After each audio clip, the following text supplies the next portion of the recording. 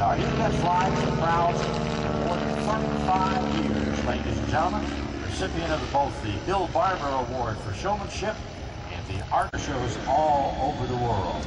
Beautiful and graceful and almost.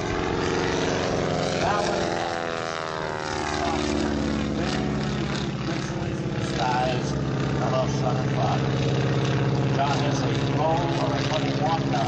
Certificate flyer that is right down to the ground level. Commercial pilot and air.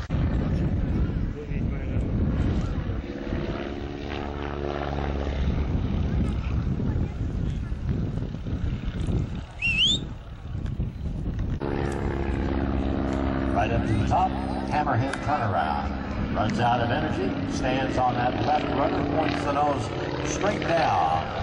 In the Mohr Stearman. Right down.